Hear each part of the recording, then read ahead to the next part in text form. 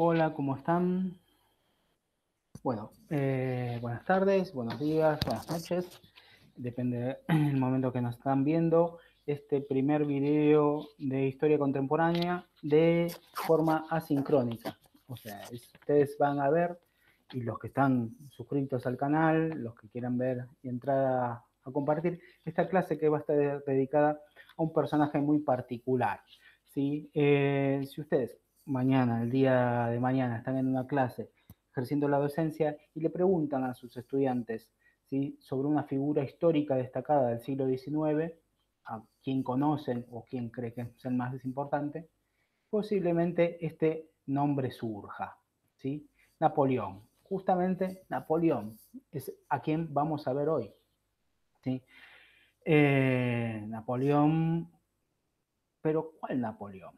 ¿Qué idea tenemos? Napoleón y su lugar en la Revolución Francesa, el legado de Napoleón también, eh, más adelante vamos a ver, eh, es no solo su lugar en la historia, sino también cómo fue representado, el significado de Napoleón, los usos de Napoleón eh, y cómo Napoleón construyó un hacer político.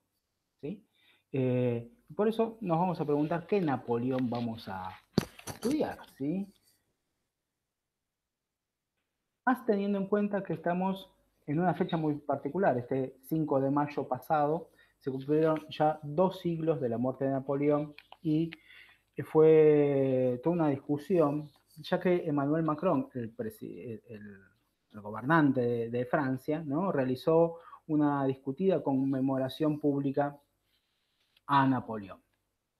Un personaje que desde la perspectiva histórica es bastante discutido, eh, más discutido que valorado, y más teniendo en cuenta algunas de sus acciones, como es la de restablecer la esclavitud en 1802, eh, cuestión que fue uno de los elementos que no solo su legado déspota, las, las masacres que llegó a hacer, la invasión sobre Rusia, etcétera, etcétera, sino este hecho tan significativo del tema de la esclavitud fue uno de los ejes en discusión producto de esta intención de Macron de eh, llegar a un homenaje, ¿no? Un homenaje muy particular también.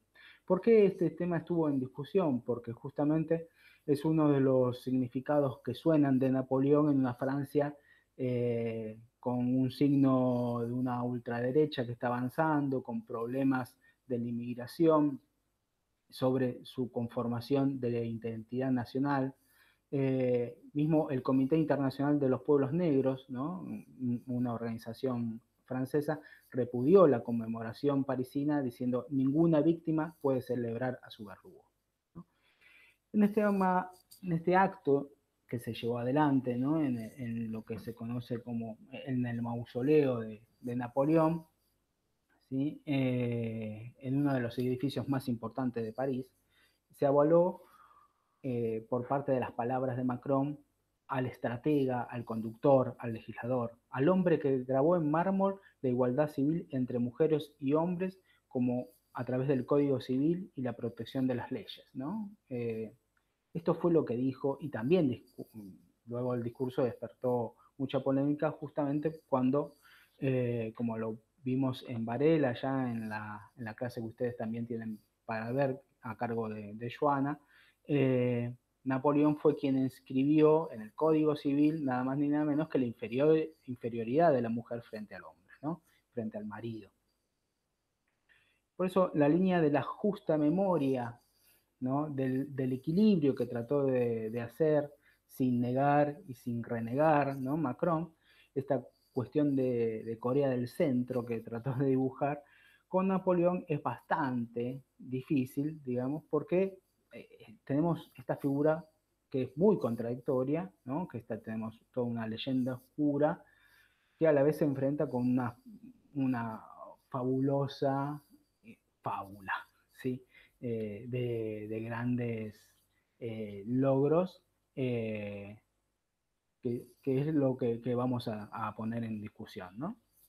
Pero antes que nada, volvamos un poco al último texto que vimos, que es el de Hobsbawm, de la Revolución Francesa, cuando habíamos dejado luego del periodo jacobino tenemos el periodo del termidor. El termidor, ¿sí? que es el, el mes del sol, acuérdense ustedes que la Revolución Francesa cambió el calendario, es el golpe de Estado que tuvo lugar el mes de julio, el hemisferio norte, eh, el 9 de ese mes, del mes del terminor, el, el 27 de julio sería, de 1794. ¿sí? Eh, que dio fin al terror, a lo que se conoce como el terror jacobino, llevando adelante nada más ni nada menos que la ejecución, la guillotina del terror jacobino, al propio Robespierre, a Saint-Just, a Couton y muchos otros eh, jacobinos, y a la vez inauguró la persecución de los, de los jacobinos, ¿no? Que fueron eh, acusados en la convención y detenidos eh, en la comuna. ante la, hay que señalar ante la pasividad de la población parisina, ¿no? de los Anculots, que no los defendió. veníamos hablando de, al final de la clase pasada, como este periodo del terror jacobino que sirvió para consolidar eh, la Revolución Francesa, a la vez alejó a, los Anculot, porque también reprimió a la izquierda de los jacobinos, eh, o sea, reprimió a los sectores más ligados con los movimientos populares subalternos parisinos, eh, los, alejó de la acción pública, ¿no? Eh, no apeló a la movilización de ellos, sino a los efectos del terror contra lo que eran los enemigos de la revolución. Esto se le volvió en contra y justamente fueron eh, ahora los termidorianos los que allanaron los clubes jacobinos, persiguiendo a los, a, los miembros de este club. fueron abolidos los tribunales revolucionarios, fueron revocados los decretos eh, llevados adelante por el periodo jacobino, por ejemplo, con la ley del máximo. ¿no? La ley del máximo es aquel que fijaba los precios de los productos, y esto es lo que va a provocar ahora sí la insurrección de los Anculot en París, que fue duramente reprimida eh, por el ejército. ¿no? Ahora, esto ya lo mencionamos con, al final de la clase pasada, el ejército cobra mucha relevancia y reemplaza a la movilización popular como eh, sostén del gobierno del, periodo terminoriado. Eh, ahora, em, el terminador también va a promulgar el 22 de agosto de 1795 una nueva constitución, que ahora tenemos la tercera constitución ¿no? del periodo revolucionario, que va a ser muy diferente a la anterior, a la de 1793, que en esencia volvía a los principios de la constitución primaria, a la constitución monárquica de 1791. ¿no? ¿Con qué? Con el sufragio censitario, que solo podían votar aquellos que tenían eh, determinados privilegios, y eh, instaura la novedad ¿sí? de un poder legislativo compuesto ahora no por solamente una cámara, la Asamblea Nacional, sino por dos cámaras, siguiendo el modelo británico, y que el Ejecutivo estaba conformado por cinco personas que van a formar el famoso directorio.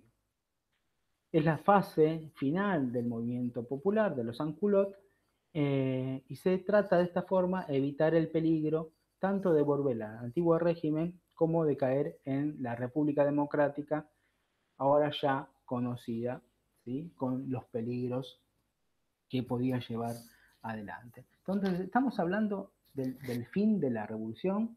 El terminador sería el final de la revolución, el periodo contrarrevolucionario.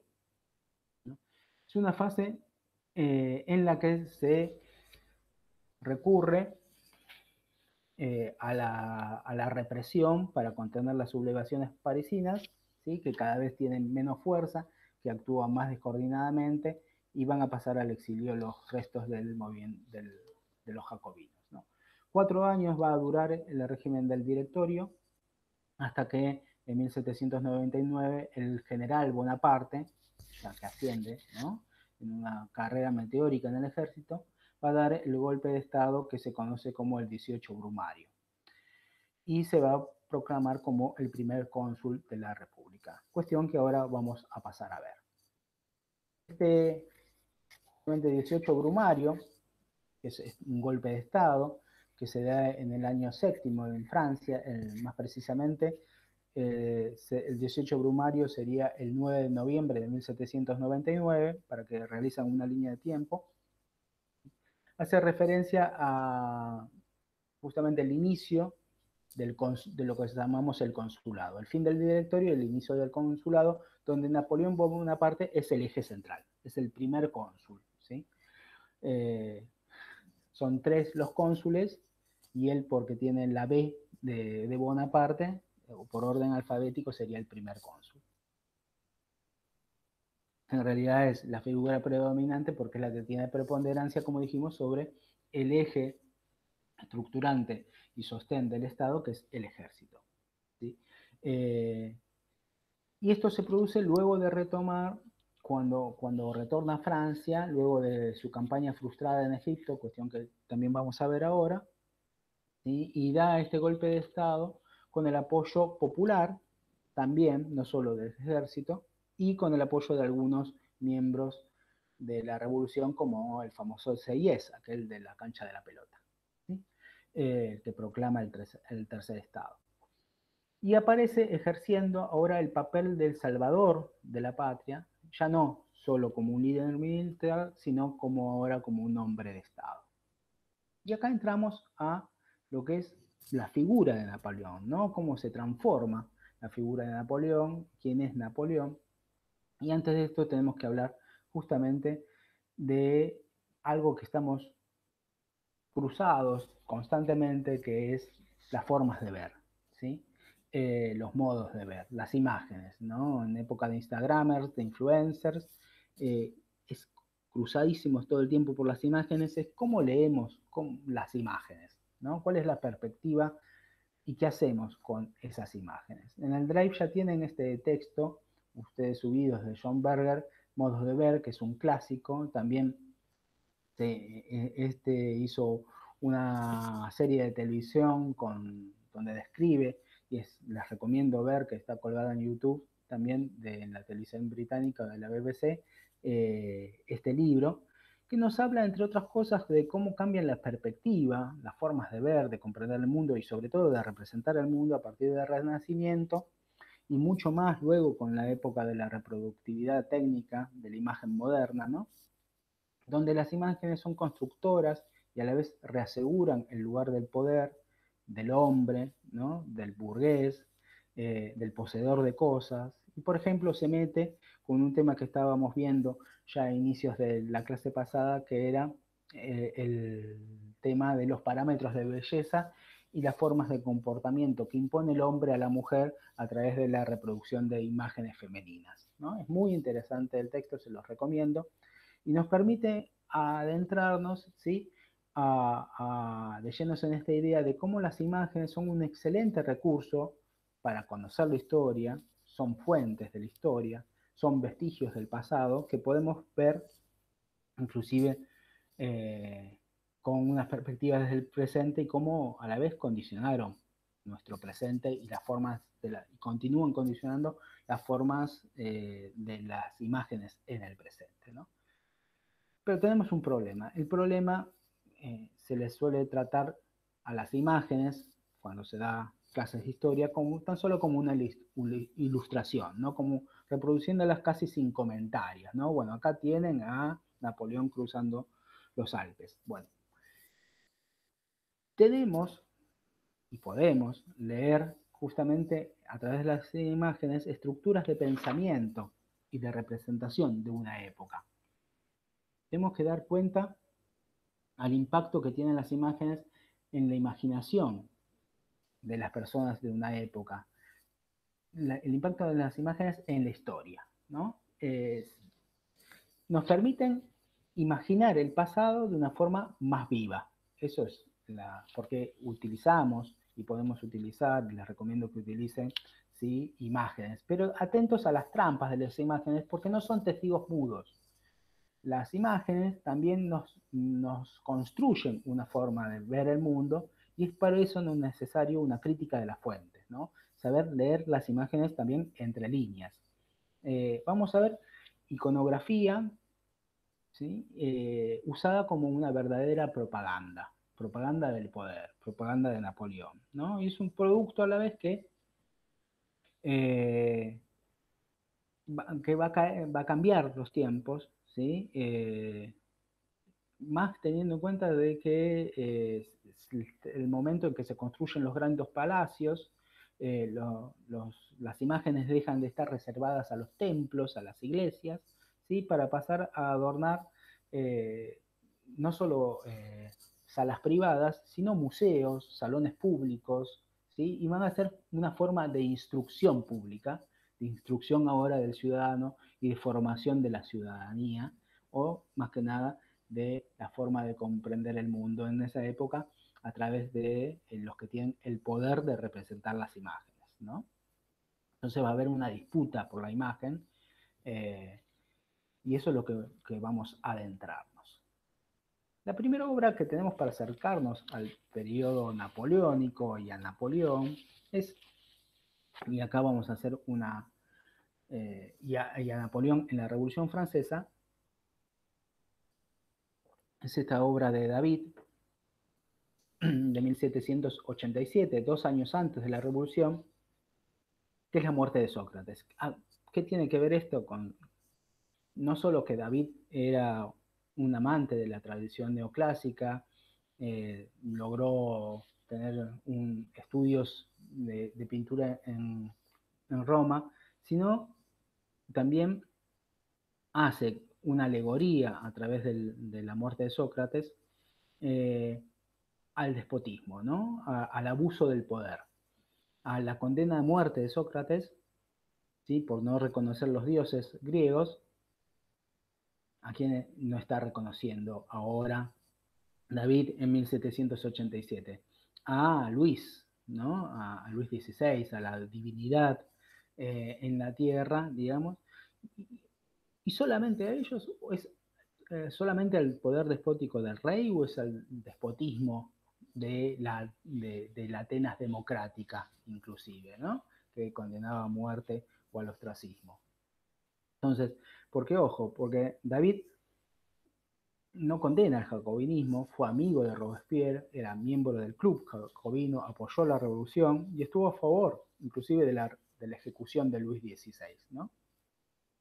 Y tiene una trayectoria particular porque al morir Robespierre, como dijimos recién, al momento del terminor, las autoridades lo arrestan a David y lo encarcelan. Eh, y es luego Napoleón quien en 1799 lo saca de la cárcel y le encarga hacer un retrato, ¿sí? nada más nada menos que se le encarga a David hacer el retrato ecuestre de, Napoleón Bonaparte en el monte San Bernardo, que ya vamos a ver, y se convierte prácticamente David en el pintor oficial del régimen, eh, retratando a la emperatriz Josefina, a la hermana de Napoleón, etc. ¿no? Tantos otros momentos. Una cuestión a resaltar, no menor, volviendo a la herencia greco-romana, al neoclasicismo en la pintura, es eh, todo el imaginario que está presente a través de las togas eh, y las representaciones pictóricas. Es, mm, se trae alusión acá a qué cosa, la República Romana, ¿no? Es, eh, es eso un poco lo que estaba también en discusión y en debate. Eh, un momento de la historia que se trae al presente apelando a él como también como ejemplo, no solo como repudio, sino también como ejemplo de lo que hay que construir.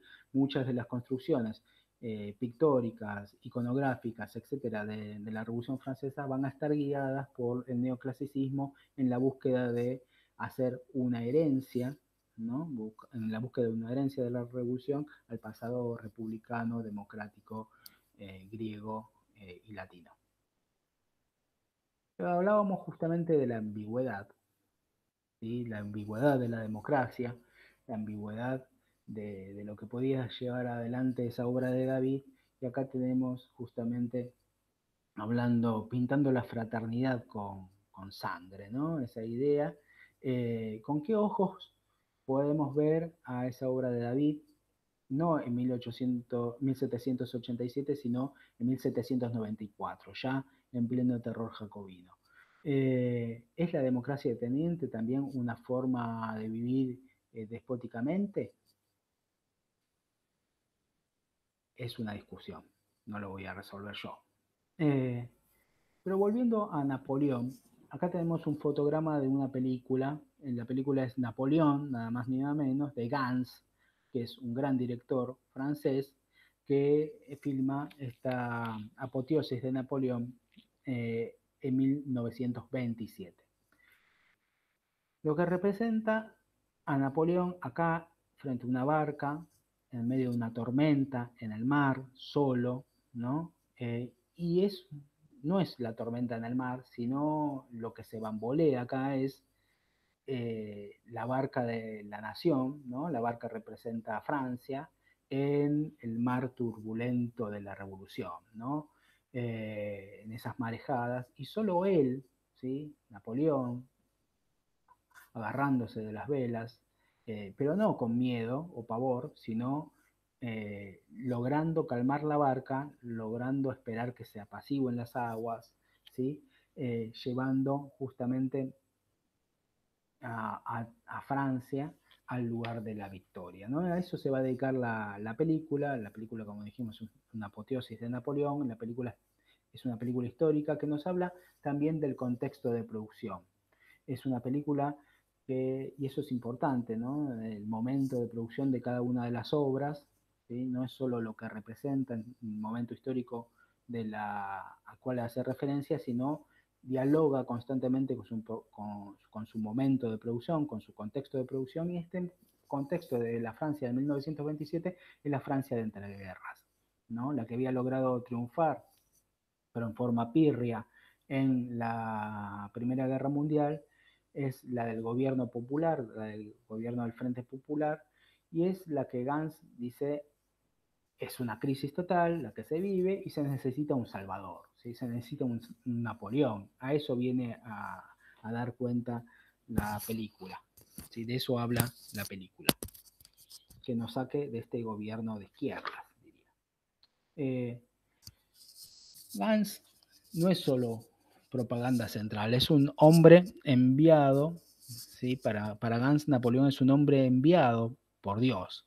Napoleón pasa a ser un tótem, y así lo, lo construye fílmicamente, eh, eh, con una creación que es el, Polivision, que es en un momento final, el momento de donde marchan los ejércitos napoleónicos bajo la, tutela y la mirada y la guía de Napoleón, ¿no? se, se construye una pantalla doble una pantalla bien ancha, ¿sí? imagínense esto para el público del 1927, eh, donde exclusivamente la filmación se proyecta esta secuencia final con la, con la cara y la guía y la exaltación de, Napoleón y concluye en la victoria napoleónica, no va a terminar en su derrota. Volvamos a David, ¿sí? ya 10 años después, en la cárcel todavía, hace este boceto de Napoleón, un joven Napoleón de 27 años, de 27 años que ocupa Mantua eh, luego de lograr la victoria sobre los austríacos.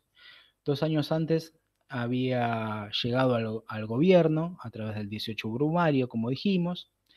Eh, y al igual que Gans, David nos muestra la juventud de Napoleón, que está naciendo y está creándose ya el mito. ¿no? Eh, es Napoleón y es su representación. Es Napoleón y es la nación francesa. Eh, el hacedor de Napoleón, David, tiene ese uso de los medios y de las imágenes, ¿no? Que va forjando la figura. Lo mismo, ese atractivo de Napoleón, también no es solo de David, no es solo de Gans, le pasó a Beethoven. Beethoven eh, compone la, famosa heroica, ¿no? Eh, el opus 55, les recomiendo que, busquen a Barenboim y su interpretación. Eh, pero se va a ver defraudado. Acá tenemos esta ambivalencia de Napoleón. Beethoven se va a ver defraudado y luego va a componer, ¿sí? nada más ni nada menos que eh, la Wellington Victory, ¿no? un homenaje de Beethoven al general británico que logra derrotar a, Napoleón. Entonces, tenemos a, dos Beethoven, tenemos a dos Napoleón. Entre el embelezamiento de la figura de Napoleón y la traición de Napoleón, ¿no? Y ahora vamos a tratar de entender por qué Beethoven se siente traicionado por Napoleón. Pero sigamos con el lugar de Napoleón en Francia. El rapto de las Sabinas. Volvemos a la alegoría clásica, ¿sí? a, la construcción de Roma, eh, y tenemos esta obra también de David de 1799, ya con Napoleón en el directorio. ¿Qué leemos en este momento? ¿Qué estamos leyendo? ¿A qué hace alusión este momento, eh, esta representación? ¿no? ¿Es, ¿Es Roma la que tenemos acá? ¿Sí? ¿O la imagen que vemos al fondo no está hablando de la Bastilla? Que se parece tanto a esa iconografía de la Bastilla. Eh, es una alegoría de un enfrentamiento entre hermanos, de una guerra civil, ¿no? de una crisis interna en la revolución, en el país, eh, a través de un episodio mitológico donde las mujeres tienen un lugar central, las mujeres de la tribu de los sabinos, que se van a entregar como forma de construir la paz entre los sabinos y los romanos. ¿no? de ese medio, eh, a través de ese lugar de la mujer, se va a soturar eh, la ruptura social. Y a la vez nos habla del lugar eh, asignado a hombres y mujeres. En este contexto de guerra civil es donde justamente Napoleón va a tener un lugar central, al igual que lo veía Gans, de ascenso al poder y de calmar a la nación y llevarla a la grandeza. Pero antes también tenemos justamente una alegoría general, ¿no? Que es eh, la potencia de la figura de Napoleón eh, la, y a la vez la caricatura histórica que se hace de él, ¿no? Es, al igual que Hitler, muchas veces que se le suele caricaturizar de loco, ¿no? Es la caricatura eh, o la demonización es una forma de, de deshistorizar, ¿no? De, destruir la historia, de no lograr explicaciones eh, históricas, sino construir eh, un esencialismo psicológico, ¿no? Napoleón es el loco, ¿no? Eh, y, esa idea, ¿no? Que Napoleón hizo todo eso, conquistó Europa solamente por locura, por ambición, por megalomanía, y es una forma de neutralizar la historia, de sacar a Napoleón de la historia, así a este personaje como a tantos otros, ¿no?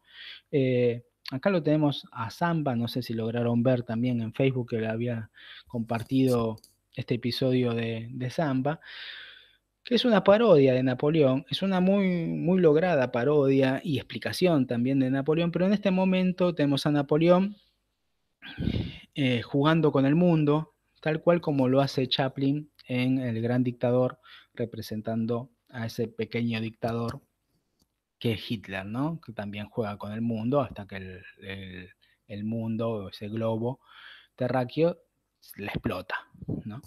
Eh, ahí tal vez hay, un giro importante de Chaplin.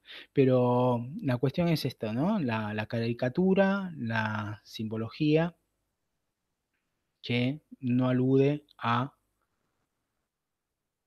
la grandeza de Napoleón, o sí, ¿no? Algunos se quedan con la imagen de grandeza de, Napoleón para traerlo al presente.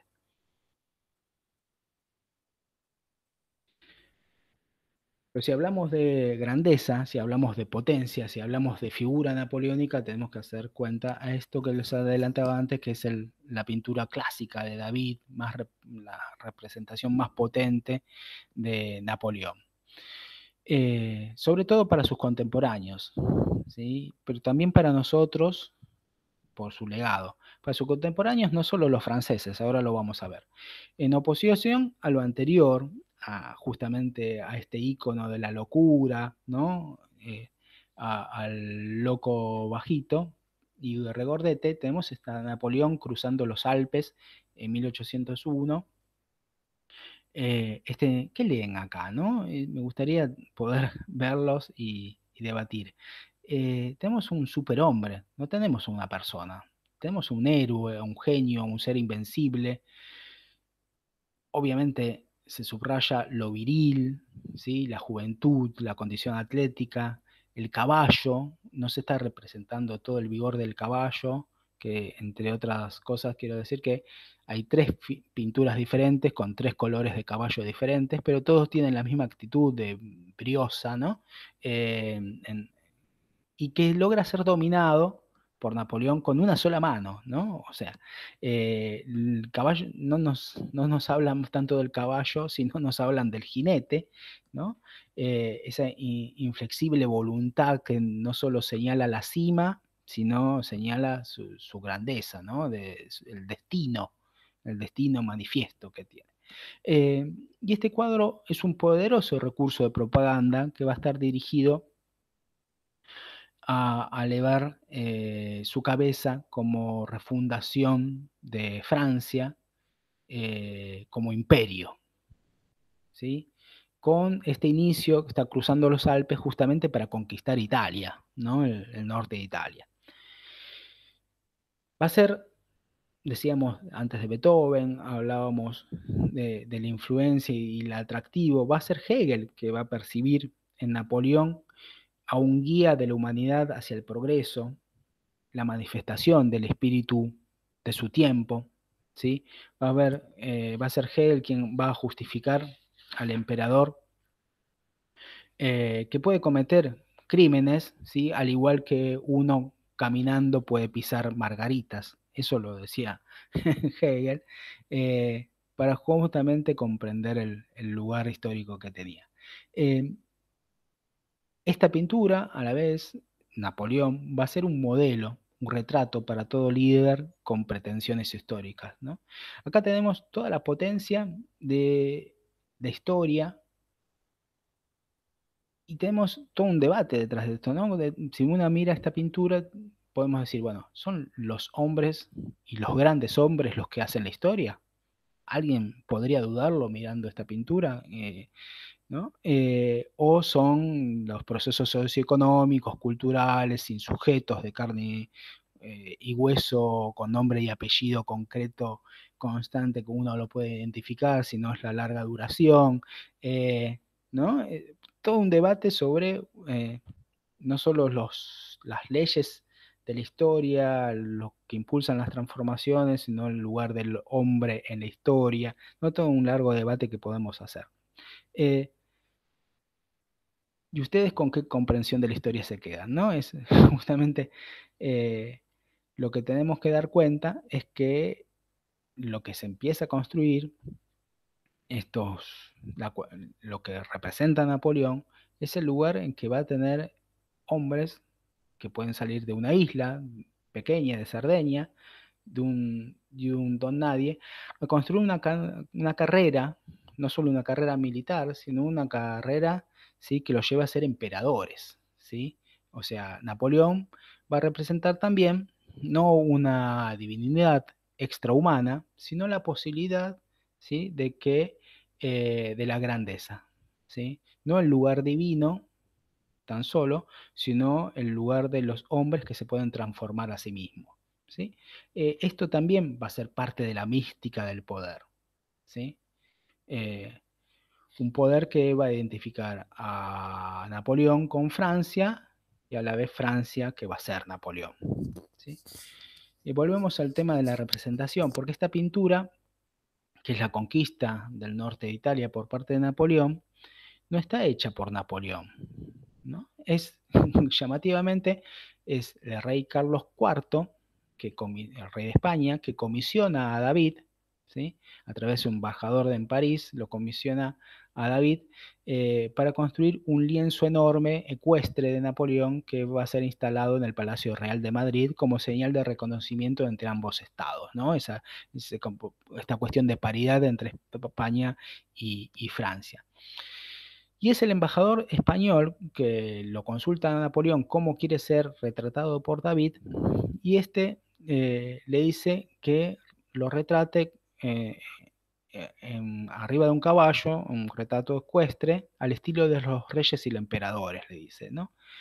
Pero a la vez se va a negar a posar, o sea, David a lo sumo va a tener el caballo de Napoleón para poderlo pintar y dibujar, ¿sí? Porque lo que importa acá, lo que remarca Napoleón, es que no le importa que lo retrate en su apariencia física real, sino que, lo, que le retrate su carácter, y vaya si David lo, logra, ¿no? Construir un carácter a través de la pintura. Y Napoleón, ¿sí? Justamente quería a la vez asociarse con esta cuestión de cruzar los Alpes y con Aníbal, pero a la vez también con Carlomagno. Napoleón se va a situar en el medio entre Aníbal y Carlomagno, ya que justamente no solo es un caudillo militar como lo fue Aníbal, sino también va a ser un emperador junto con la marca de Imperio Carolingio.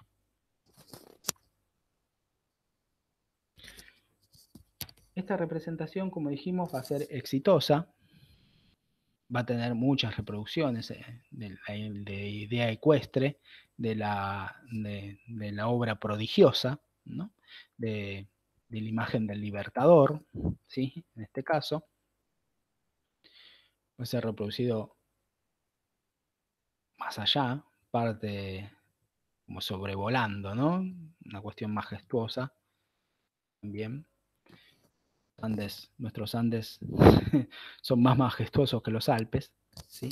Eh, pero esta cuestión de lo ecuestre como lugar y símbolo del ejercicio también del poder moderno, contemporáneo. Y acá tenemos una imagen de Mussolini volvemos a la idea de la construcción de la representación en la manipulación, ahora sí, de la imagen no ya pictórica, sino de la foto. ¿sí? Acá tenemos al, caballo que lo están sosteniendo de Mussolini y luego la imagen ya borrada, donde se describe otro, otra potencia de la imagen. ¿no? ¿Por qué nos tenemos que quedar en los hombres de derecha, ¿no? Subidos a caballo, sino, ah, ¿por qué no Sukop, el general Sukop, eh, del otro lado, puede representarse con toda su potencia luego de haber conquistado media Europa y llegado a Berlín, ¿no? General del Ejército Rojo, por si alguno no, no comprende los símbolos de atrás. Eh, y otros más cercanos. Retratos secuestres. Otra simbología, pero también podemos parangonar. Esta cuestión de, imitar, ¿no? Eh, acá tenemos una muestra que se hizo en, el Museo de, de una imagen litográfica imitada, ¿no? Rosas, que se inspira en una silografía de Luis Felipe de Orleans, rey de Francia, que va a ser rey de Francia, los Orleans reemplazan a los Borbones, luego de la Revolución de 1830, tema que vamos a ver dentro de poco, y construye justamente Rosas una imagen de sí mismo, tomando esta otra imagen, este, la misma pose, la misma actitud, pero están solo reemplazando la bandera, ¿sí? Eh, francesa por, la bandera patria.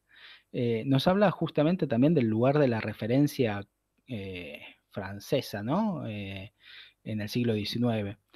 Ah, en el retrato de Luis Felipe se ve todavía los restos de, de las barricadas, que lo vamos a ver con Delacroix, con su famosa La libertad guiando al pueblo, pero bueno, acá no hay barricadas en Buenos Aires, se las saca, ¿no? Eh, se saca este protagonismo popular, pero sí se ve acá como un representante de gente, ¿sí? De milicias, por lo menos. 2020, en la, cuando surge la pandemia, ¿sí? el, ministro, el Ministerio de Cultura de Ucrania va a intervenir varias obras de arte para alentar a, que la población use barbijos, guantes y que se, que, se queden en sus casas, ¿no? En la cuarentena. Eh, y se va a tomar justamente la figura heroica de Napoleón, que ya dijimos, pero en este caso para promocionar el delivery. ¿sí? Va a ser una alusión clara a Globo, en sintonía con propaganda prácticamente gratuita a, esta empresa negrera, y es por eso que los empleados de Globo van a salir a denunciar la precariedad más extrema que se vive durante la pandemia y la vulnerabilidad de los empleados de delivery durante la pandemia, eh, y diciendo no quiero que nos llamen héroes, ¿no? porque acá se está diciendo, bueno, los, el delivery de, de pibe en bicicleta que lleva Globo sería Napoleón cruzando los Alpes, bueno, no necesitamos eso, sino necesitamos derechos laborales, ¿no?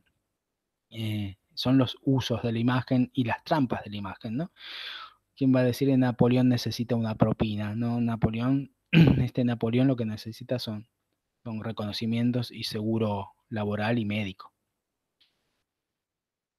Otros usos de la misma imagen, más recientes, el 2021, van a aparecer varios grafitis del famoso Bansky, ¿sí? este, este eh, grafitero y artista anónimo muy importante, eh, que siempre tiene un toque de denuncia social muy interesante. En este caso, esos grafitis que aparecieron van a denunciar a las derechas eh, europeas y a la desigualdad social creciente también durante la pandemia. Y esta obra que hace alusión al David pero con túnica, ¿no? Napoleón, ¿es, Napoleón o quién vemos atrás?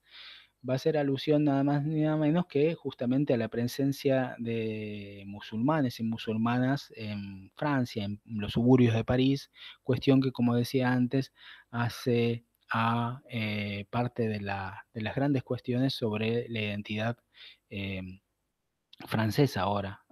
Tengamos en cuenta el avance de, del Frente Popular y de la derecha francesa, ¿no? Más acérrima. En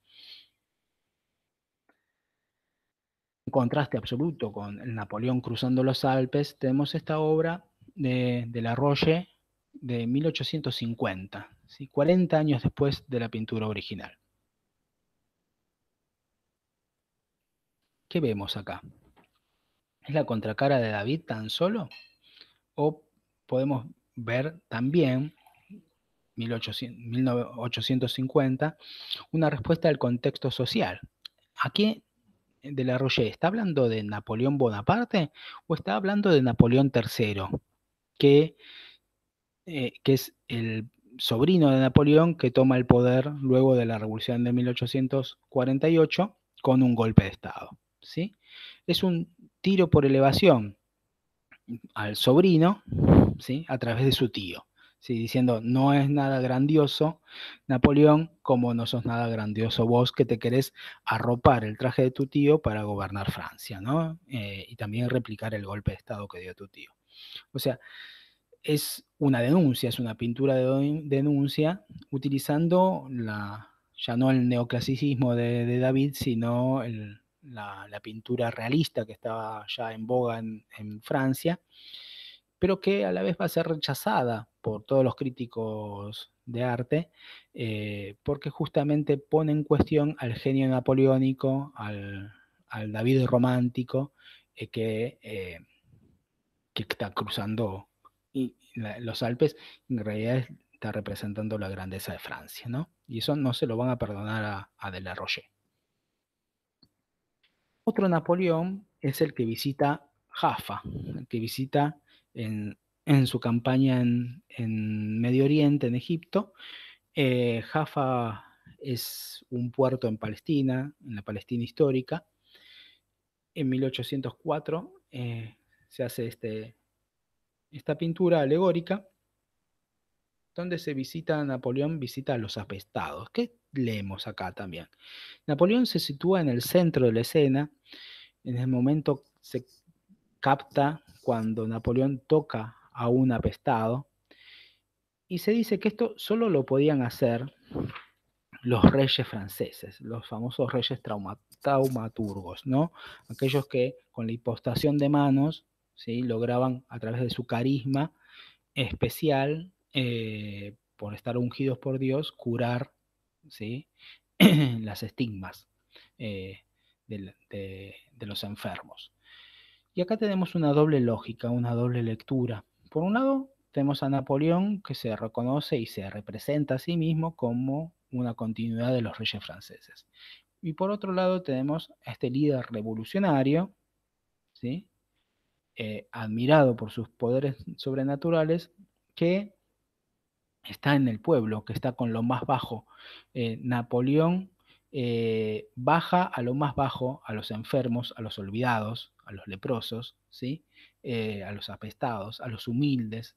O Napoleón es a la vez no solo una imagen de grandeza, sino de humildad, de compasión.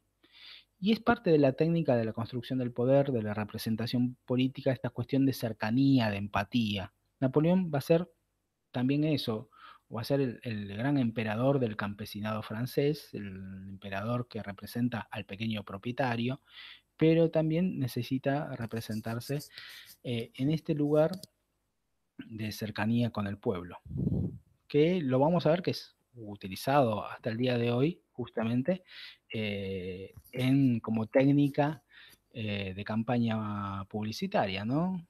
Famosos almuerzos con espontáneos, escúchese acá el sarcasmo de, mi voz, la campaña electoral, comiendo milanesas, tomando mate, ¿no? Comiendo buñuelos, escuchando a la gente. Pero no es solo demagogia, ¿no? Que podemos decir no le inaugura Napoleón o la, la inaugura Napoleón o la, o tan solo la continúa. Es una forma de hacer política, ¿no? Acá también de forma de representar a los líderes, ¿no? Lenin hablando con los obreros que lo visitan o yendo a la fábrica o yendo a una aldea olvidada rusa, hablando con los campesinos. Esta es cuestión del estilo democrático. Estamos hablando de una época donde las masas, luego de haber hecho la revolución, necesitan ser escuchadas, necesitan cercanía, no podemos estar como, ¿sí? Eh, que le den, si no tienen pan, que le den torta. Eso ya no va, no, es posible, eh, ¿sí? Eh, se necesita esta, esta cuestión del estilo democrático, del vínculo directo con el pueblo sin intermediarios. También eso es parte esencial, no solo de la construcción del líder, sino también del estilo político, ¿no? Esta cuestión de que no haya representantes, es el líder y el pueblo.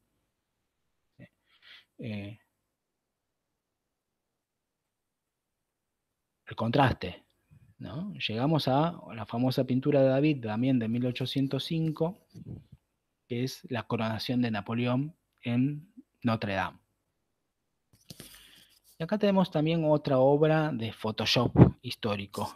Eh, si tenemos que reconstruir el, acontecimiento real de la coronación de Napoleón, encontramos que no solo la madre que ahí se ve en el palco no estaba presente, ¿sí? porque estaba justamente disgustada con, su nuera eh, Josefina, sino tampoco estaba el Papa, ¿no? que está acá en el lateral, eh, mirando la escena.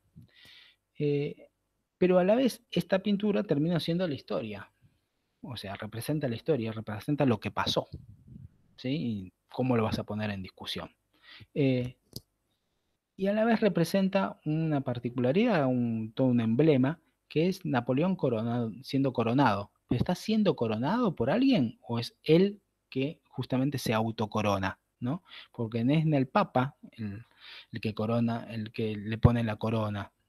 Eh, es habla de la magnificencia de Napoleón, que a la vez unifica a la iglesia y el Estado. Acuérdense que la Revolución Francesa había eh, eh, sacado las tierras al gran poder que tenía, eh, tenía la iglesia católica en Francia, y Napoleón logra mantener un orden a través de un concordato con el papado que se instaura en 1801 y que va a durar hasta 1905, que da estabilidad al mandato de Napoleón como protector de la iglesia, ¿no? eh, Napoleón y el Estado por encima a la vez de la religión.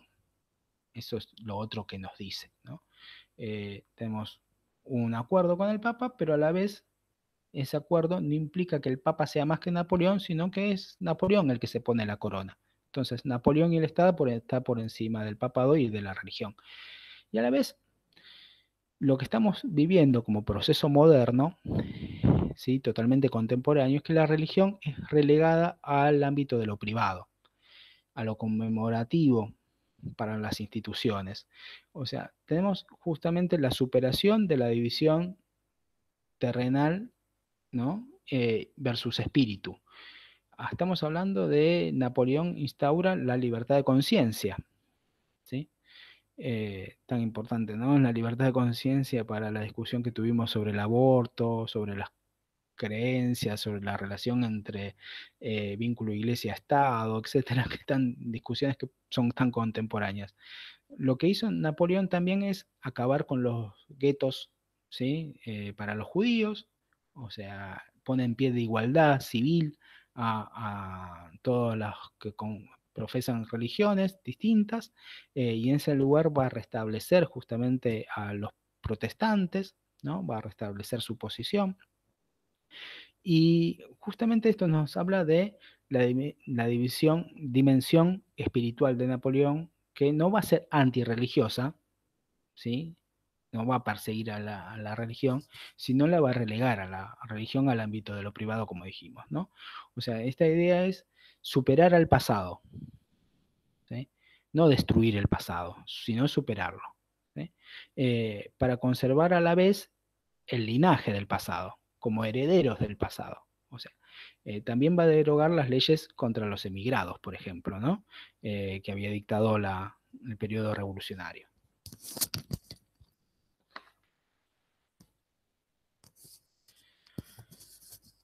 Miren esta imagen, Luis XVI con todos sus oropeles, la piel.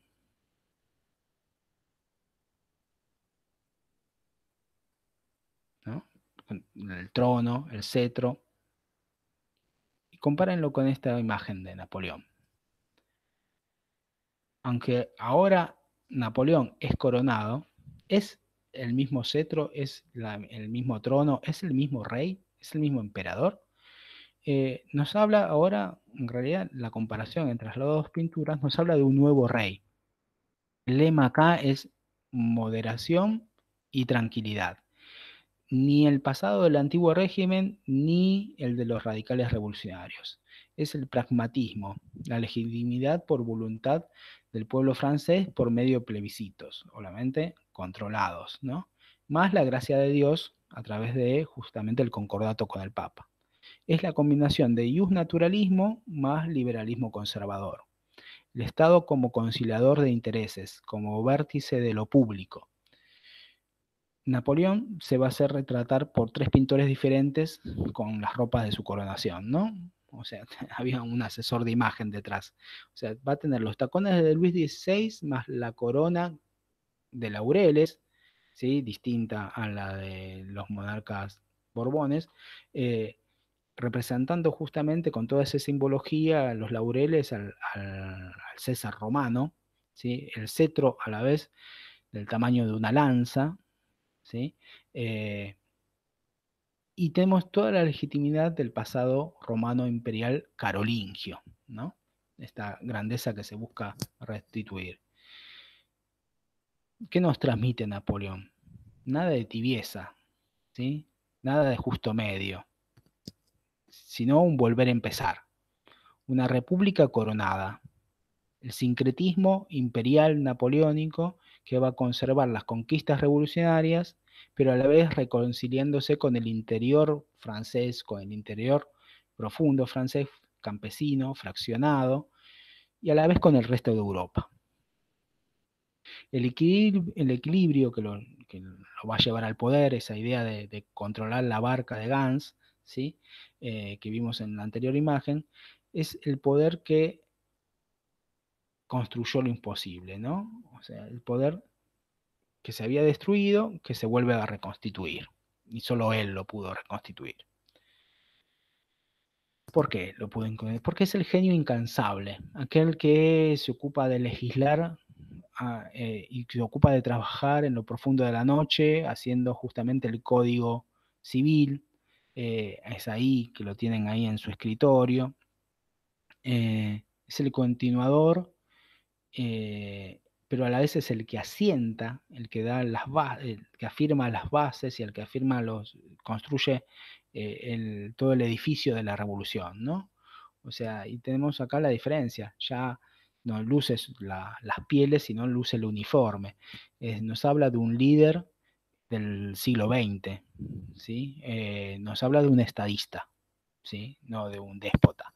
Es un aspecto nuevo del poder. El soberano ahora ya es un burócrata, aquel que se ocupa de legislar, se ocupa de ordenar el mundo. Eh, es un organizador racional del mundo. Y la imagen, la imagen justamente se sirve de ese modelo. Ya no, no hay una reposera acá. Es el, se trabaja hasta últimas noches, no, no hay ningún momento de que se despiertan a las 11 de la mañana con lagañas, no, eh, o sea, no le va a pasar eso a Napoleón.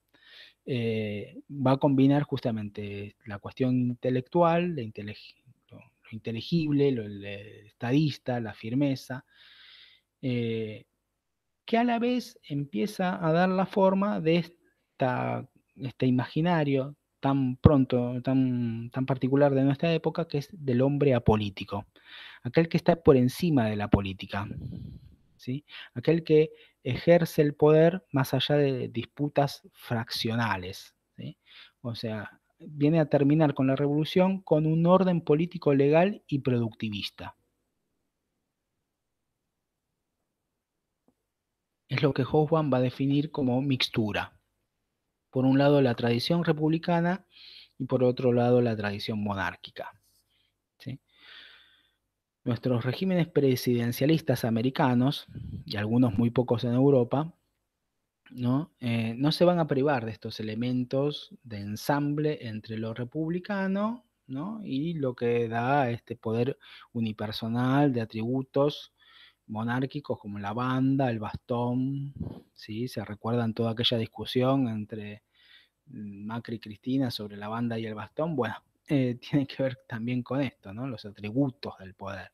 Eh, la posibilidad de indultar eh, es por solo el presidente, también toda la discusión que tenemos ahora con la pandemia, los poderes, bueno, están en esta cuestión de los regímenes presidencialistas americanos, ¿no? Esta vestidura presidencial que proviene de esta tradición de matriz religiosa de eh, que une los dos cuerpos del rey medieval.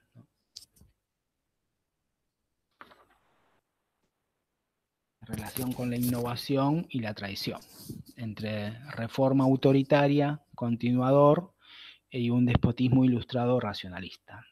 Napoleón es el que consigue, según Hobsbawm, el orden, restablecer las condiciones económicas para favorecer a los que tienen renta, los que viven de una renta, eh, los que poseen tierras, guiados por ideales fisiócratas. ¿sí? La base de la riqueza para Napoleón va a ser el agro, eh, el arraigo a la tierra, un fuerte equilibrio social, a la vez que va, a dar justamente esta cuestión de pequeños propietarios, una nación eh, ordenada donde todos tengan algo que defender, por qué pelear, por qué dar la vida también, ¿no? Más una cuestión de jerarquía y mérito. La capacidad sustituye a la sangre. Eso va a ser un elemento napoleónico central. Eh, la, capacidad del mérito, la meritocracia que vamos a ver, y tan fuerte es eh, hasta el día de hoy. La base social del régimen va a ser las clases medias, las que van a dar estabilidad y paz, ¿sí? Eh, estabilidad, paz, mérito. Va a ser el gran lema burgués de la carrera abierta al talento. Decíamos, reformista autoritario. Para ello necesita hombres, ¿no? Fouché. Fouché va a ser el encargado de la policía.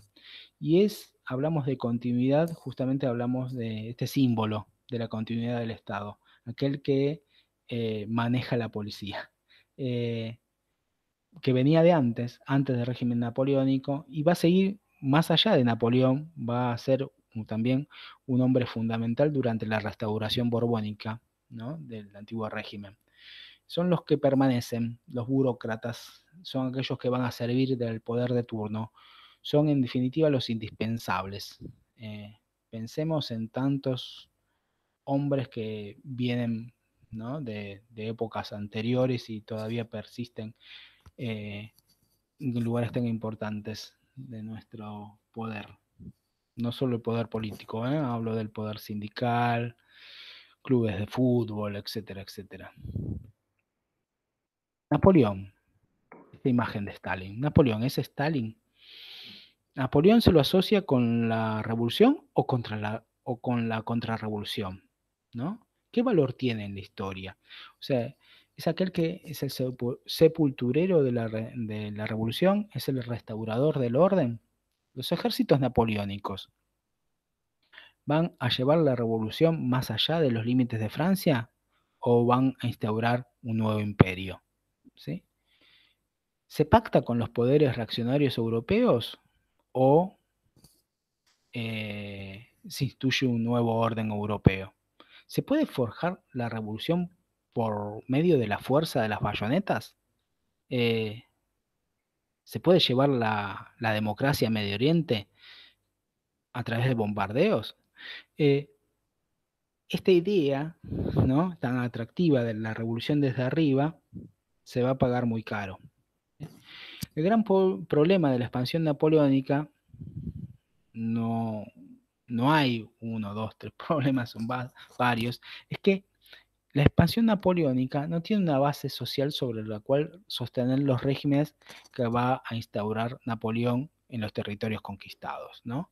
Los, regímenes napoleónicos impuestos en Europa no van a tener eh, una base social, ¿sí? como la tuvo en Francia, para poder sostenerse. Eh, y por el contrario, va a dar pie a un activo y reaccionario nacionalismo. Y eso se va a expresar en varios elementos. Uno son las caricaturas. Caricaturas de época también nos sirven como fuentes. Napoleón desafiando a los poderes de Europa. E, es esta caricatura. Tenemos ahí arriba el Papa, al rey de Portugal, al rey británico, al, al turco. Eh, Napoleón como un torero que es levantado por el aire por el toro español, justamente aquel que se le soltó la cadena, el toro español, ¿no? Esos territorios conquistados que justamente no tenían eh, base social eh, amplia, ¿sí? con, el, con el cual em, poder legitimarse, ¿no? es justamente no solo levanta en el aire a Napoleón, sino mea a Pepe Botella, el hermano de Napoleón, que es el monarca instaurado eh, por, por, Napoleón. Nosotros esa historia ya la conocemos bastante, ¿no? O sea, ahí en el piso hay otros toros que sí lograron ser vencidos por Napoleón, como podía ser Italia, eh, parte de Alemania, Polonia, etcétera. Napoleón lo que busca en su expansión es construir una monarquía paneuropea. Napoleón está empeñado en reordenar el mapa europeo, coronando a los propios, ¿sí? Y esto acá se vuelve en contra del derecho divino, ¿no? Eh, ahí tenemos justamente eh, que están eh, amasando el pan de Polonia, Hungría, Turquía, ¿no? Buscando construir reyes, cocinando reyes. Y esto justamente es lo que hizo en, España y le fue tan mal, ¿no? En otros lados salió bien, por ejemplo en Suecia, una monarquía que gobierna hasta el día de hoy, ¿no? Es una monarquía puesta por Napoleón que después él vino en contra de Napoleón. Va a ser un territorio aliado a Napoleón. Y esto justamente lo que va a terminar dando vida es eh, al enfrentamiento con, eh, con el resto de las monarquías europeas se van a ver amenazadas y van a crear la, la Salta Alianza. Ahora bien, ¿por qué está empeñado Napoleón en esto? ¿En qué se sostiene Napoleón? Ejércitos por debilidad de la burguesía europea, ¿no? O sea, justamente lo, que logra Napoleón esto es, es eh, la conquista. La cólera, de Napoleón se llama esta caricatura y es justamente en España es donde empieza el fin de Napoleón. Luego va a terminar en, en Rusia, ¿no? Pero el golpe lo empiezan a dar los españoles acá tenemos a Napoleón muy diferente a toda esa grandeza que ya vimos, lo vemos como un enajenado, no como un estadista, vemos la distancia de la representación, ¿no? de esta caricatura con la que hace del mismo, eh, que es consumida por el público inglés. ¿sí? Los ingleses son los que pagaban y a la vez difundían estas caricaturas y estos caricaturistas. Tenemos otra clásica también de España, ¿no? que se llama El Patriota eh, Manchero. Tenemos acá el nacionalismo reactivo. Es un grabado que circulaban popularmente en España, a diferencia de los grandes cuadros que, ¿no? que, se, exhibían en los palacios, catedrales y, museos. Eh, tenemos acá un patriota que se caga en la constitución escrita por Napoleón y que le da a los españoles y que se limpia eh, su traste con una estampa de José Bonaparte. Y acá nos exprime todo el dilema napoleónico que lleva los ideales revolucionarios para liberar, eh, pero logra totalmente lo contrario, logra coagular una reacción popular, ¿sí? Eh, como es el caso español, en contra de los mismos ideales revolucionarios, en realidad también de los intentos de imponer su orden. Napoleón impone justamente la constitución de Bayona, que es más reaccionaria que la escrita en Cádiz en 1812, porque a la vez es más pragmático. Napoleón lo que va a tratar de buscar es, ganarse a sectores reaccionarios como a la iglesia. Eh, una, una, cuestión muy llamativa. Napoleón parece que era eh, sentía una, fascinación morbosa, dicen algunos, por las caricaturas brutales, eh, muy sarcásticas que hacían los británicos, ¿no? De Hill Wright había uno muy famoso que es Shank, que vamos a ver una más adelante de él, que lo pintaban como el mismo diablo o como un enano montado sobre un burro, o sea, caricaturas muy, muy crueles que hacían sobre él mismo, que eran pagadas por el gobierno británico para hacer eh, piezas de propaganda. Eh, y el tema es por qué Napoleón, tan neurótico, al momento de proteger su amor propio, eh, quería dedicarse a estudiar esas colecciones de insultos es algo bastante desconcertante, ¿no? Eh, eran muy escatológicas, muy vulgares, como la que vemos acá, eh, mm, lejos de, la más de Charlie Hebdo o de Barcelona, digamos, eh, que recuerda muchas veces esa cuestión de fascinación que pueden tener algunos poderosos, como por ejemplo Putin, de, ver el linchamiento salvaje de, de Gaddafi una y otra vez, ¿no? Esa cuestión de, morbosidad de ver cómo está representado a sí mismo o representado el poder de otros y también cómo es destruido. Hablando de representaciones también, y siguiendo en España, tenemos los fusilamientos de Goya. ¿Esto es la Revolución Francesa? ¿Esta es la misión civilizadora? Esta es la liberación que prometían los ejércitos napoleónicos. Esta es la marsellesa o el lema español de mueran los franceses.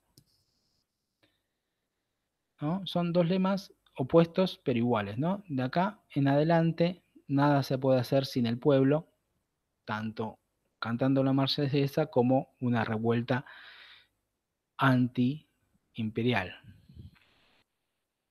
muy poderoso este cuadro de Goya porque nos habla de toda la contradicción de la modernidad y de la propia revolución, que es tan importante este tema, esto lo que estamos viendo acá y representando para entender el origen de los nacionalismos, como vamos a ver. Eh, y la ironía de la revolución, la ironía que usa Patricio Rey. Eh, para representar su, su tapa de fusilados por la Cruz Roja, bang bang, estás liquidado, en el contexto también de la guerra del Golfo, ¿no? Es por eso que Rocambole lo, lo dibuja ahí. Esa reacción nacionalista, popular, conservadora, española, crea una identidad que continúa hasta el día de hoy y que se ve reflejada en la propaganda, ¿no? Ahí tenemos el famoso brandy Napoleón, ¿sí?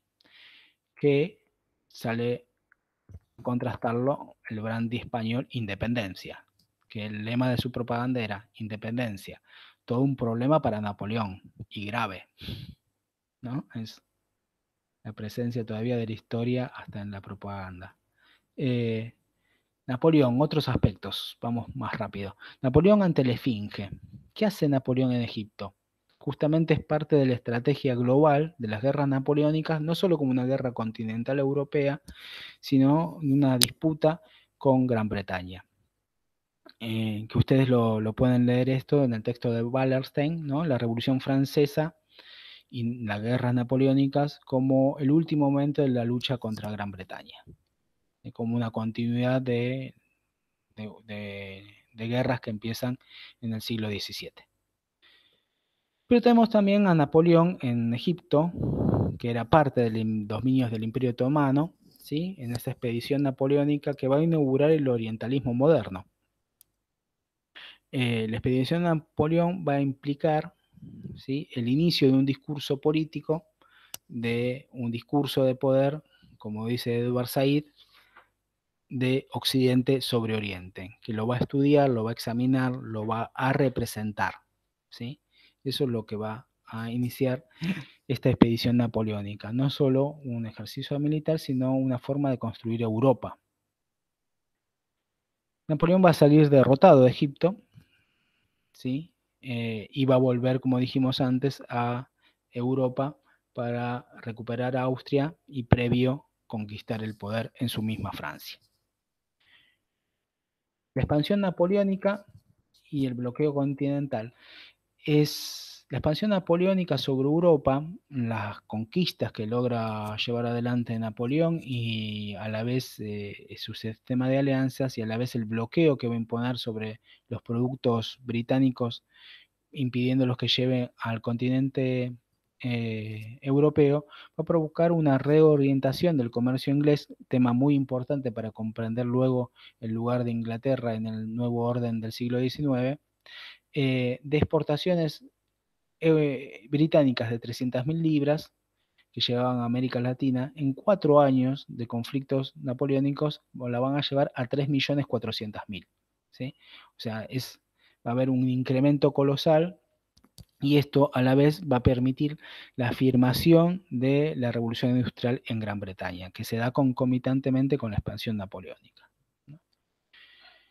Y esto a la vez tenemos un reparto del mundo entre británicos y, Napoleón. ¿sí? Uno en los mares, otro en el continente, pero no es así de simple como lo representa la caricatura.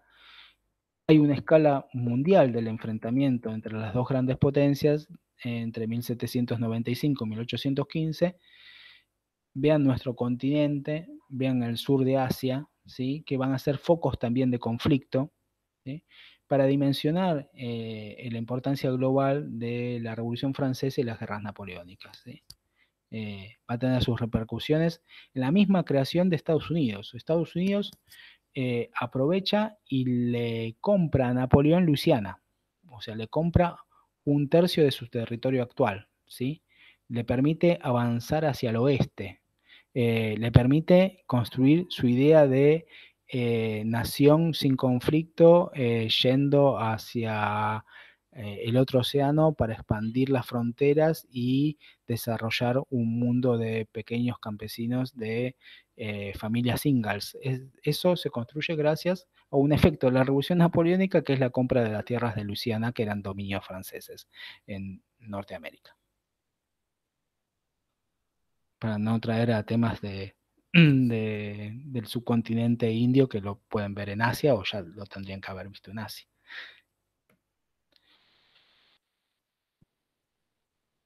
Napoleón en el campo de batalla de Eliú. Es, una pintura que se va a exponer justamente en el salón principal de 1808, eh, pintada por Gross un año antes, y nos habla del ejército napoleónico. Lo ven ahí en el fondo, ¿no? Inconmensurable, interminable, eh, con los enemigos eh, rendidos a sus pies, los pies de Napoleón. Acá la grandeza de Napoleón y toda su voluntad expresada eh, y es justamente lo que nos habla eh, del ejército como un lugar central. ¿Qué motiva al ejército? ¿Qué dinamiza al ejército? ¿Cómo se paga el sustento del ejército? A través de la conquista, el saqueo y el botín. Este va a ser un elemento central, el botín, el saqueo, como el elemento que le da una ventaja al ejército napoleónico que lo impulsa al ejército napoleónico a nuevas conquistas, que le permite y lo lleva a avanzar sobre el resto de, Europa y ocupar gran parte de Europa, pero a la vez nos habla de la debilidad del ejército napoleónico que depende justamente de la conquista, el botín y el saqueo para poder mantenerse en pie y, en dinámico. ¿no? Cuando llegue a Rusia y Rusia eh, implemente lo que Belgrano va a aprender justamente y lo va a llevar al norte argentino, que es eh, el éxodo, ¿sí? el repliegue, el dejar tierra arrasada, esta táctica de Alejandro, de, que, la va a representar justamente el, emperador ruso eh, de tierra quemada, eh, que lo va a hacer Belgrano en el éxodo jujeño, justamente, va a hacer sucumbir a al ejército napoleónico. Otra debilidad es la falta de generalato ¿no? y el gran número de bajas que tenía el ejército napoleónico. El ejército napoleónico se, estaba basado en una ley de la, y un llamado de la convención jacobina, que era la leva masiva, que todos los ciudadanos se, transforman en soldados en armas, eh, y que llevaba a una profesionalización por veteranía, o sea, los que más años tenían en el ejército, los que a la vez sobrevivían, eran los que llevaban a eh, grados más avanzados y a la vez eran los más leales a Napoleón. Pero a la vez, fuera del país, eh, también Napoleón se va a encontrar con, fuera de Francia, se va a encontrar con una falencia, que es una industria muy débil, o sea, tenemos una Europa que todavía no se estaba industrializando, ¿sí? Eh, sin armas para poder alimentar a su ejército. Y por eso la verdadera arma del ejército napoleónico era su número y a la vez su rapidez. ¿sí? Napoleón los hacía marchar por horas, marchas gigantescas. Eh, tengamos en cuenta que Francia era el país más poblado de Europa y eso justamente le daba el número. Y a la vez Napoleón usaba la propaganda, los boletines y el uso de la fake news. Napoleón a la usanza de Trump eh, en Twitter, eh, hacía despachos regularmente de comunicados donde eh, contaba sus victorias en el campo de batalla, así, relataba sus hazañas y a la vez lograba llegar con esas noticias al enemigo. ¿sí?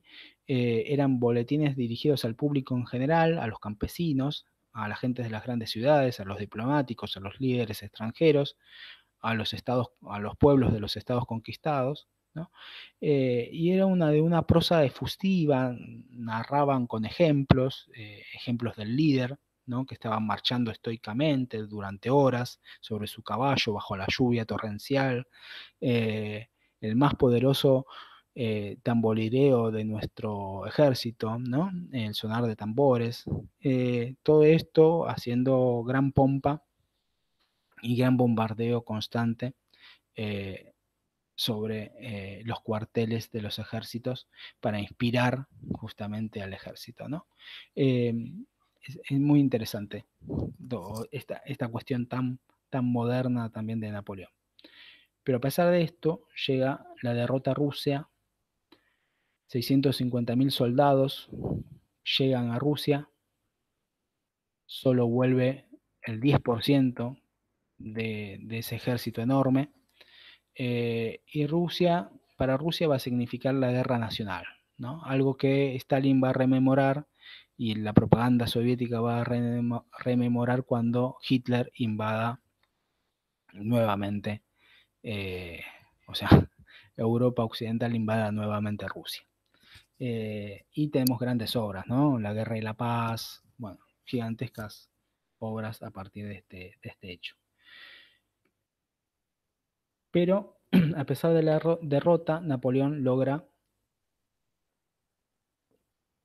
retornar al poder luego de su destitución y tenemos el periodo que se conoce como los 100 días, que comprende desde el 20 de marzo de 1815 hasta el regreso de Napoleón eh, a, París, luego de su exilio en Elba, eh, hasta el 28 de junio de 1815, fecha en que se restaura a Luis XVIII como rey de Francia, ¿no?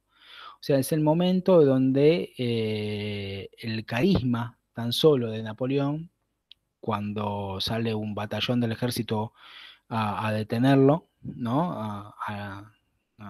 con la orden de Luis XVIII, eh, Napoleón pone el pecho eh, y enfrenta a esos soldados que al final terminan a sus pies, como lo representa la pintura, y gana con su carisma eh, el poder nuevamente hasta que llega a Waterloo, ¿no?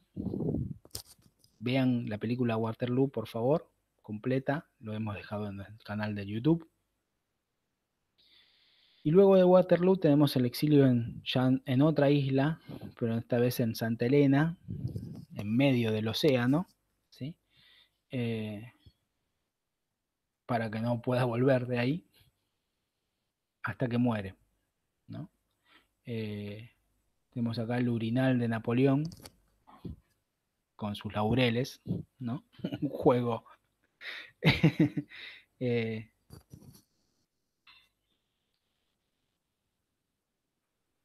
tenemos ahí justamente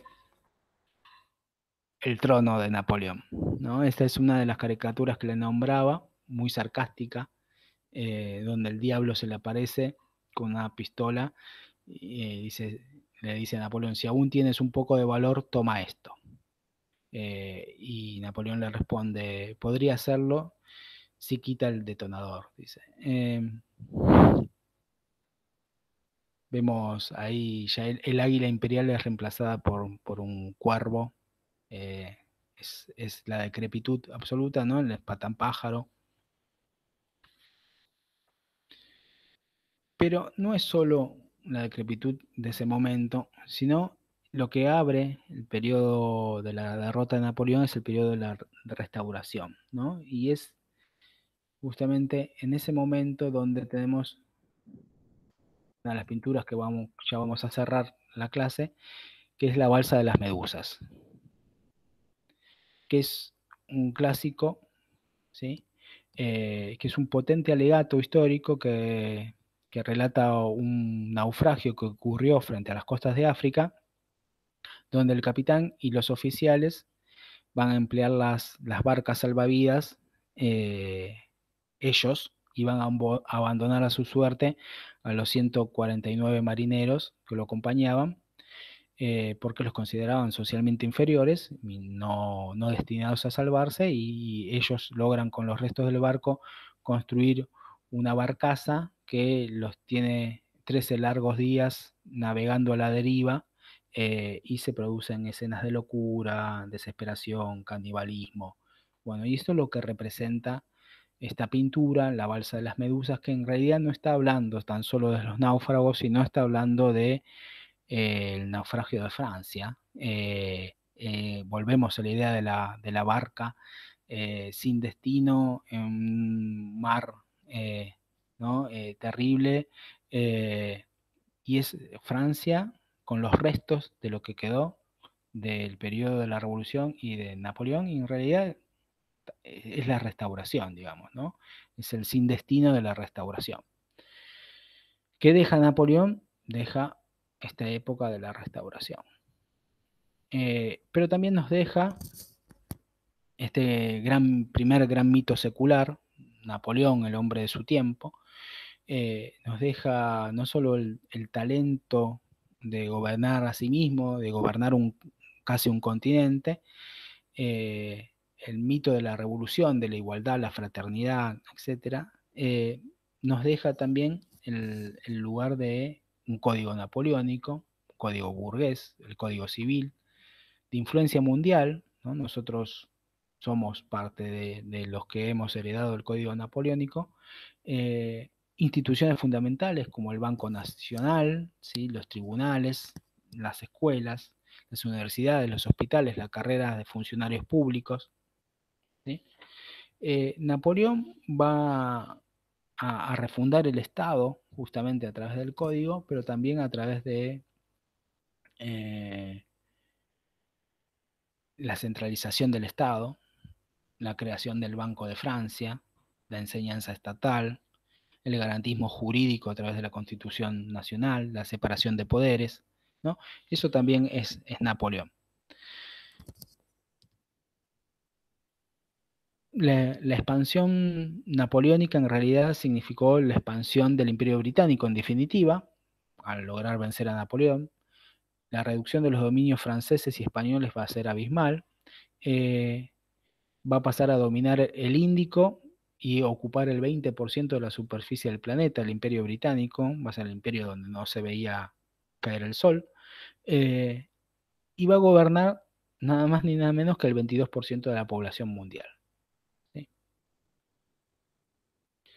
Europa, acá tenemos una caricatura de la Europa de la restauración, de los monarcas restaurados, donde Francia retorna a sus fronteras, y se produce el Congreso de Viena, que ya vamos a ver en las clases siguientes, es el orden de la Santa Alianza, eh, es el orden guiado a través de eh, Prusia, eh, a través de, Viena, del Imperio Austríaco y a través del Imperio Ruso, ¿sí? Y es el gran tema el juego de equilibrios de estas potencias europeas, eh, luego del despertar revolucionario burgués, luego de despertar nacionalista también, que se va a desatar en 1789 y ante el avance del ejército napoleónico, y antes también del impulso liberal, ¿no? que también no, no se va a detener con la derrota de Napoleón. Es también cómo ordenar el mapa europeo luego del paso de los ejércitos napoleónicos, qué hacer con Polonia, qué hacer con, con las republiquetas italianas, ¿no? vamos a ver la disputa entre las dos potencias centrales, entre Austria y Prusia, por ver quién construye eh, la nueva Alemania, quién, quién, quién, construye la preponderancia sobre lo que va a ser el futuro de Alemania. Eh, y es el impulso también a las transformaciones políticas mundiales. ¿no? Y eso nos deja que con la Revolución Francesa no se acaba. Eh, con la derrota de los jacobinos, no se acaba tampoco con la revolución, con, con, con Napoleón, sino vamos a tener sus estertores, vamos a tener sus continuidades en las revoluciones burguesas de 1830 y 1848. ¿Sí? Acá tenemos a la libertad guiando al pueblo, nada más ni nada menos. Y para cerrar con una representación más y una alegoría de esta pintura emblemática. Volvemos a Bansky, también eh, con una alegoría de las balsas de las medusas, eh, y esa idea de quiénes son los náufragos, ¿no? Y acá nos está hablando justamente de eh, esa Europa que pasa en yate y deja naufragar ahora a los, a los emigrantes africanos que tratan de cruzar en balsa el Mediterráneo. Bueno, acá vamos a dejar la clase. Y como saben, cualquier duda, consulta que tengan, eh, la pueden hacer tanto en el chat de, esta grabación que vamos a subir a YouTube, como eh, cuando nos veamos en vivo en la clase sincrónica de mañana.